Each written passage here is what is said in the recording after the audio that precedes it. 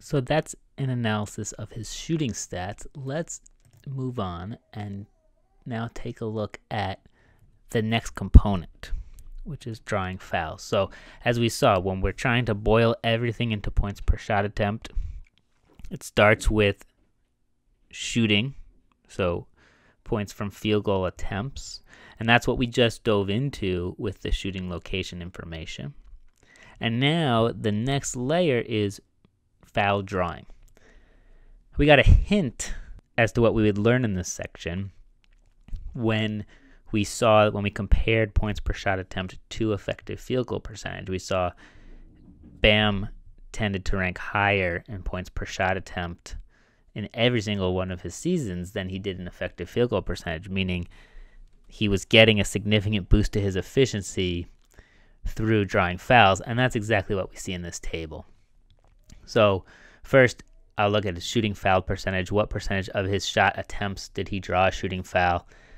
That clearly has been high through his entire career.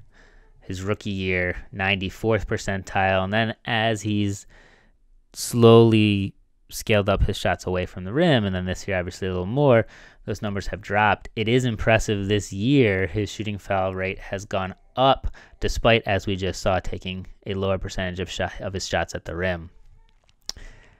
Not only has he been great at drawing contact when shooting, but we can also see he's done it on non shooting fouls as well. His uh, floor fouled percentage, his rate of drawing fouls that are non shooting fouls, has also been high for a big man throughout his career. This, as you might imagine, can track with usage because the more you have the ball, the higher chance there is to draw a non shooting foul.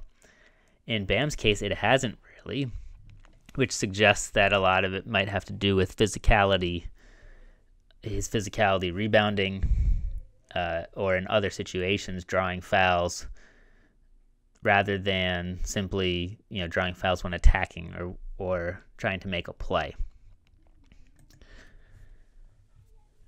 We also have his and one percentage. So how what percentage of his shot attempts where he is fouled does he also convert the basket? And this doesn't really tell that consistent of a story. It can also be subject to small sample sizes. What we see here is nothing particularly consistent or that really jumps out at you. And so that's something that I kind of would just skip over in this situation. It's not really adding anything to the story. Okay, so let's flip over to the last tab here defense and rebounding. Tells you something right off the bat that defense and rebounding only has one tab. And that is just a factor of the fact that Cleaning the Glass pulls from play by play data, and play by play data, just the historic data that we have, play by play box score data, just tells you a lot less about defense than it does about offense. This is just an example of that. This is not, I mean, as we saw with the whole analysis, this is not a be all and end all. It's particularly the case with defense. I do not put a ton of stock in this table simply because it's only telling you a small portion of what's actually happening defensively that this player is causing. That said, at first glance, we can get one piece of information, which is that there is no blue in this table, basically. There, in other words, there's nothing that Bam does, defense and rebounding, that has been particularly below average. And that's true throughout his career. If we start with the block column, you can see about a middle of the pack shot blocker has increased slightly over his career. The biggest thing that jumps out is his steal rate, which had a huge increase between year one and year two. It's interesting to understand why that is, but it's mostly stayed high, even despite that increase in usage, suggesting that, you know, as a big man, he can really cause turnovers. So this steal rate, this high steal rate for BAM is a really positive indicator. We can stick this on our list as we're taking notes.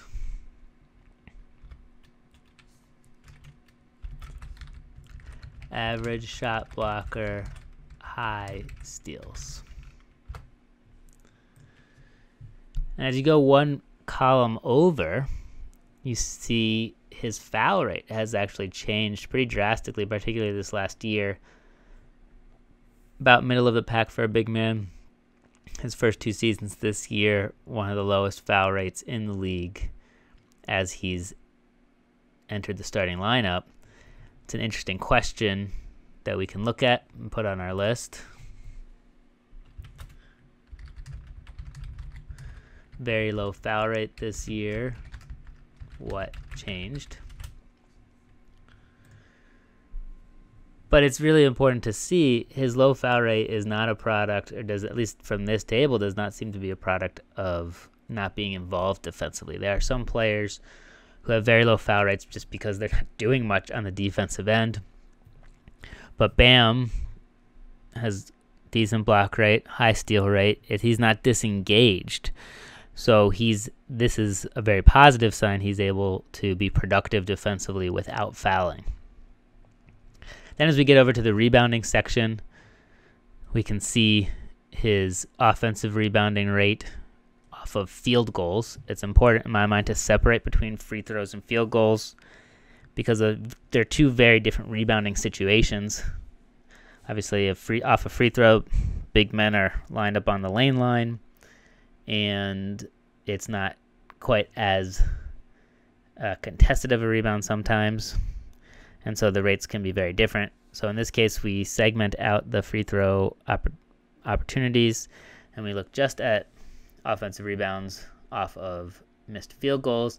And you can see pretty consistent through his career has gone down a little bit as his usage has increased and as he's taken more shots away from the rim, which is exactly what you would expect since rebounding your own misses, particularly those further away from the rim, is harder. On the defensive side of the ball, he had a jump between his rookie and second year, and otherwise has stayed similar with a solidly above average defensive rebounding rate. So we can put that on our list as well. Average offensive rebounder. Above average on defensive glass. So let's put it all together now. Here are the things we know that we've talked about. High usage rate starting this season. Above average efficiency. Great passer for a big man, turnover prone. We know that with the increase in efficiency, has increased short mid-range shots, finishes well at the rim, draws a ton of fouls, which really boosts his scoring efficiency. Solid shot blocker, high steals for a big man really reduced foul rate this year despite maintaining high block and steal rate. Solid rebounder on both ends. And there you have it. This would be our quick summary based on those stats of Bam as a player. Let me know what questions you have, thoughts, whether this was helpful. I hope it was. Obviously, as you get used to the site, as you get used to these stats, it takes you a lot less time to interpret and put all that together. But hopefully, this was a informative walkthrough to see how I would go through these stats and just get that kind of quick overview of a player based on his profile stats.